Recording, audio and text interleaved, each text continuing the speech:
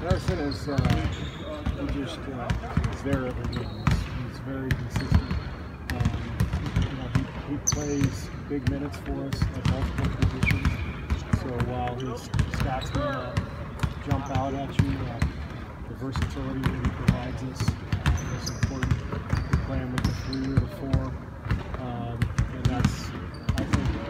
Sort of combo position has become one of the most important in the league. So Harrison's critical for. Played him at the five a little bit. the game Yeah, yeah. Modern NBA. Do, Well, you you, were a four, right? I would have been. Yeah. do you like do you like him at the five or is it just This that's is so just- weird. Yeah. sorry, sorry. You know, it's quarters in the round. In the round, yeah. It's very odd. Don't twist more than 180. Uh, do, do you like him at the five or is that just merely No. just like you're just I, you're I would be. I.